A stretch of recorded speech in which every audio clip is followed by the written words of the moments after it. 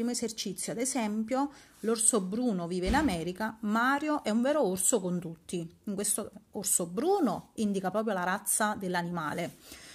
Mario è un orso con tutti, vuol dire che è una persona brusca, ok? Quindi in questo caso è figurato e quindi vuol dire che sarà una persona mh, mm, un po' chiusa, brusca, che ha i modi un po' burberi in questo senso qua.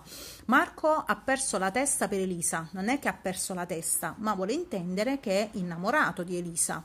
Ho un forte mal di testa per dire il dolore, ok? Quindi è il significato reale.